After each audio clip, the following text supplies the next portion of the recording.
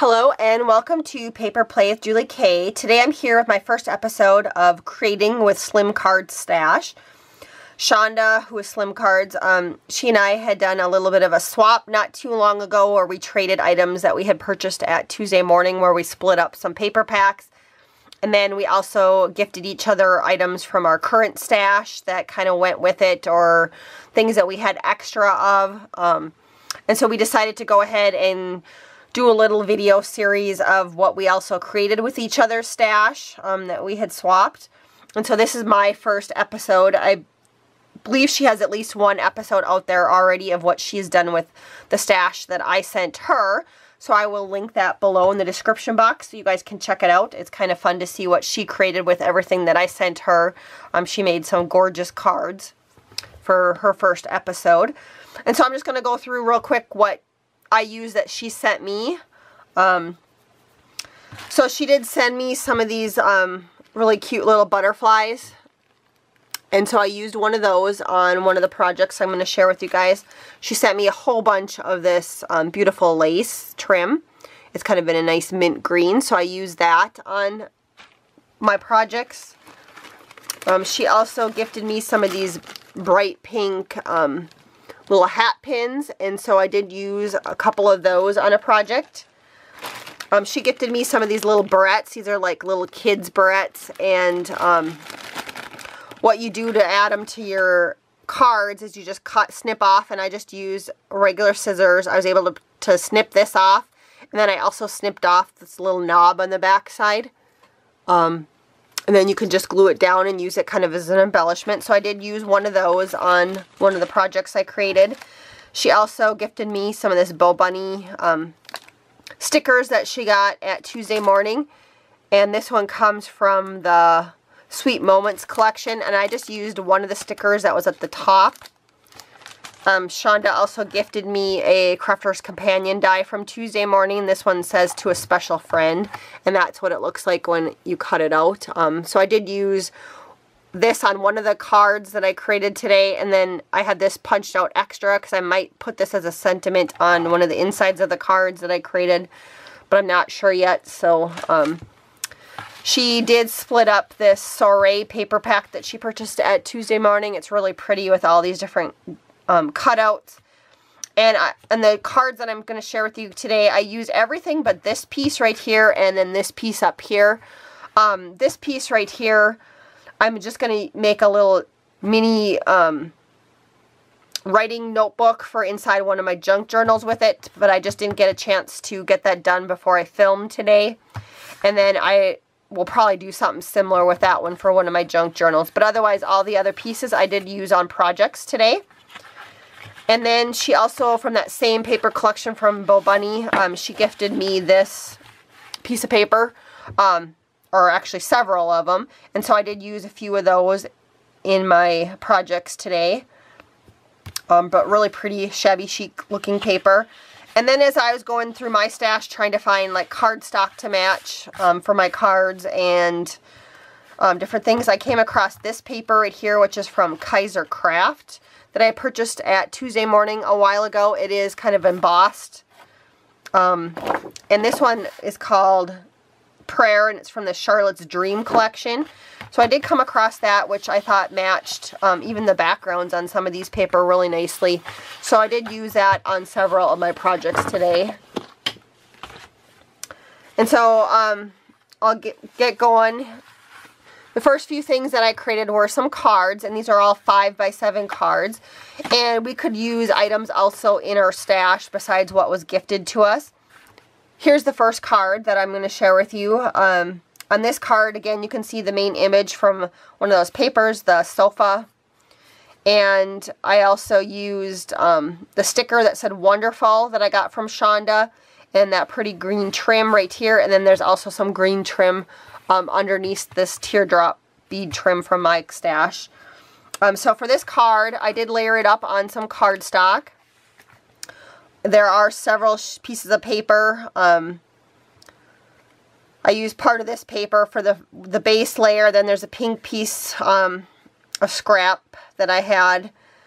And then, of course, this main image. And there was, like I said, the trim behind it. I added some of my teardrop bead trim at the bottom. I have a couple little pieces of bling right here just because I wanted it to to match the center of this flower better and these. Um, so I just added that extra little detail. Um, up at the top corner, I did use a partial die cut of a doily. And these pink flowers came from the $1.50 spot at Michael's. Up in the corner, um, if you look behind this flower, you can see I have some of those um, hat pins that Shonda gifted me. And what I did with these, because they were a bright pink, is I just put a little bit of a lighter pink um, acrylic paint over them. And so it just kind of lightened it up a little bit. And then this flower right here came from my stash. I can't remember what company, but I bought that at a local um, store off of their clearance rack. And it already had the center in it, which is so pretty. And then this little bead trim right here that's in this nice mint green color. Um, that came from Karen Brake here on YouTube. She had participated in my No Leftover Scraps challenge and had gifted me some of her trim her bead trims and um, like I said it just matched perfectly and I kind of like to hang things from my little flower clusters um, so it worked perfectly so I did use that on a lot of my projects today um, but I wanted to share that with you so that was the first card that I created here's the second card this one looks a little bit more vintage shabby just because I did ink the edges um, in a in a in a brown ink, so that kind of makes it have a little bit more of a vintage feel, where this one I did not ink my edges. Um, so that's kind of how it looks a little bit different.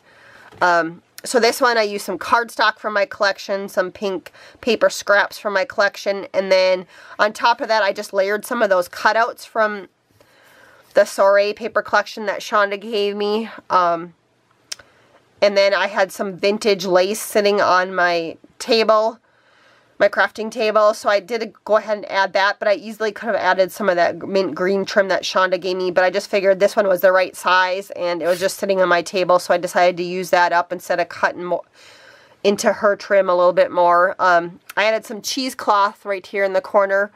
Then that sentiment to a special friend, um, I put over that. And I did do glossy accents on that. And I die cut it out like three times and glued it together. It just makes it a little bit more sturdy. And then I have a little flower cluster. And I think all those flowers came from Wild Orchid Crafts. Along with these little um, flower stamens that I like to hang off underneath my flowers. And then I die cut this little banner piece out with one of the scraps. And then added the Tim Holtz sentiment, do small things with great love, which I think is a Mother Teresa sentiment. Um, but I love how that one turned out also. Um, really pretty. And the insides are blank for right now. Um, just because I figured I could add sentiments to them as I give them out to people. So that was the second card that I created. The third card that I created is this one. And it says, home is where the heart is. I did die cut, or not die cut, but use part of the cut aparts for that. Um, some more of Shonda's pretty trim. And then I layered up some pieces of scraps that were left over from cutting up my other projects along with this little heart was I cut out with some of the scraps. I added some cheesecloth behind there. I had this little bead spray. Um, and I used bits and pieces of bead spray to kind of create this one. Um, they were just leftover pieces, and so I like how that turned out.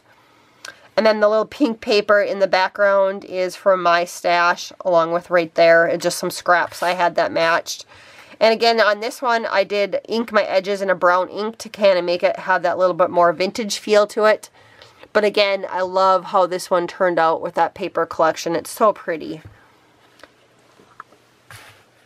The last project I have to share with you is an altered composition notebook. Um, a couple years ago, I picked up a whole bunch of composition notebooks really cheap. It was either at Walmart or um, Target after the school year had started, and I got them for like 12 or 15 cents or something like that. Um, and so I've decided this year I'm going to try really hard to make a dent in those and alter a lot of composition notebooks, so you'll probably be seeing a lot of those on my channel. Um, just to use up that stash. And then I have some nice ready-made gifts to give out to people um, when I send out Happy Mail. And so here is the one I created. This was that big um, cutout from that Soiree paper collection. And then I layered up some cheesecloth behind there. There's a text scrapbook paper behind that. That just came from my paper stash. And then that Kaisercraft paper is in the background on that one. Um, at the bottom, there is some more of that mint green trim from Shonda, some of that teardrop trim from my collection. I again cut out a little banner piece and put a Tim Holtz sentiment on it, which says collect beautiful moments. Um, all the flower pieces did come from Wild Orchid Crafts. This little butterfly was from Shonda's collection that she gifted me. And then here's that little barrette I used up here. There is a flower, I mean not flower, but some bead sprays up here that I picked these up at the thrift store, um, really cheap. And then across the spine, um, there's three layers of lace. I have a white layer and then the green trim that Shonda gifted me, and then some of this pink crochet trim. And then again, some more of Karen Brake's um, mint green bead trim that she gifted me. And so I'll hold it up close so you guys can kind of check out all the details. But I love adding lots of little extra details to my little flower cluster. So the bead trims and then there's some more of those stamens there. Um, little pink ones. There's that little barrette. Here's these.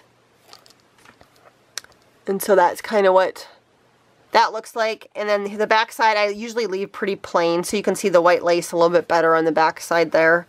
Um, and then these I also go ahead and add um, some of the scrapbooking paper, um, which this was part of that Soiree collection. Again, Sh Shauna gifted me quite a few sheets of it. So um, I use that on the inside right here.